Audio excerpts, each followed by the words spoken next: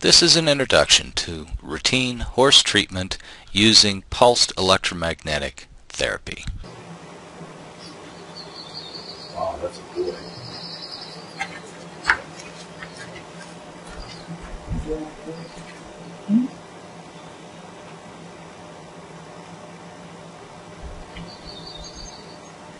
So then I'll bring it down.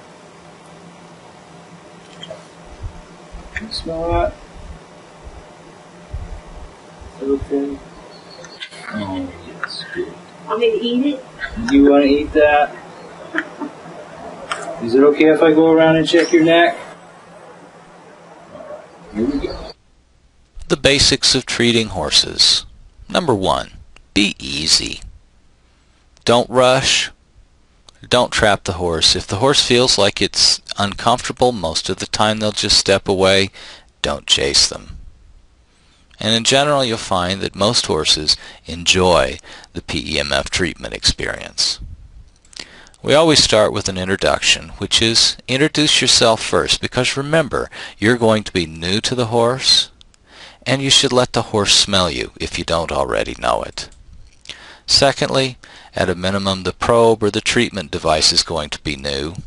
I usually keep the machine on during the introduction because I want to avoid surprising the horse later. Because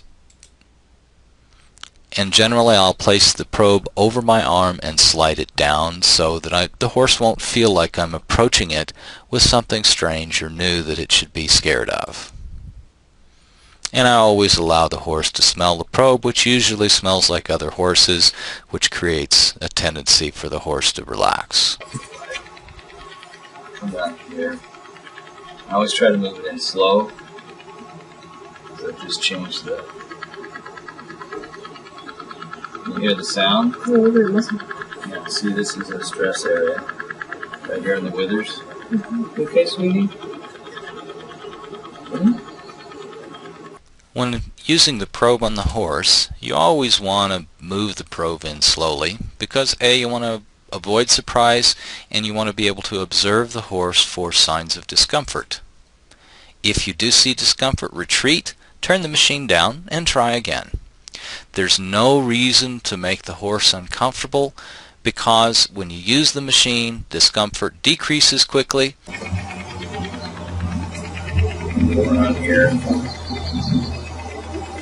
If you're treating a racehorse, the limb runs from here. Okay.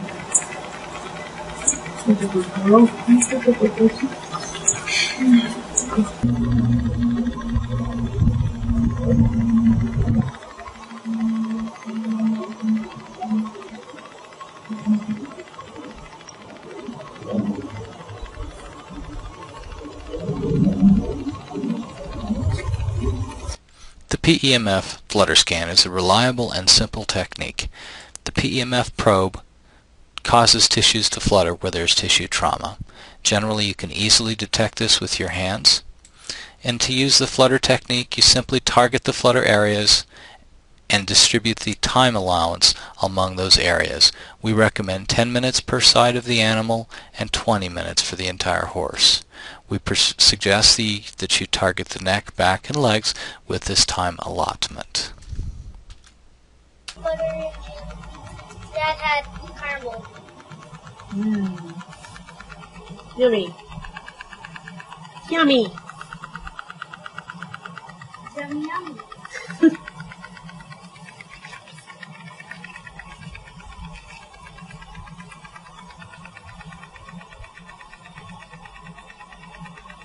The leg treatment process is very simple. Form the loop into a figure 8 and then flop wrap each joint. What you're listening for is a deep sound which suggests that the joint is absorbing more energy.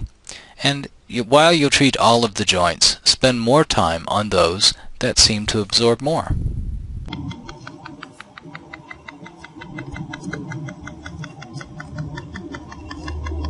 When the horse withdraws, it means there's discomfort. Don't chase. Let the horse escape. Turn the machine down and start over.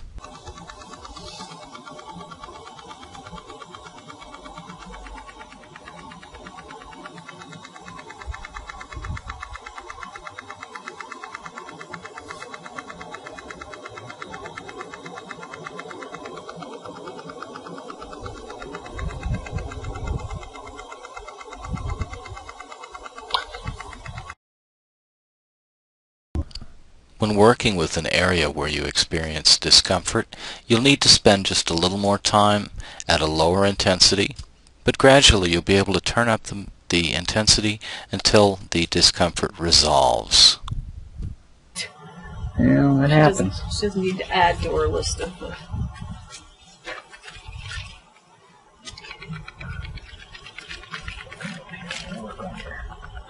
Upper cervical. PEMF treatment is a relaxing experience for most animals. This horse, incidentally, has a history of resistance to the point of self-injury. As you can see in the video, PEMF time is happy time. Always remember the basics. Be easy. Don't rush. Don't trap. Remember to flutter scan, work the horse, look for areas that respond, and visit the legs. And for the most part, horses like it.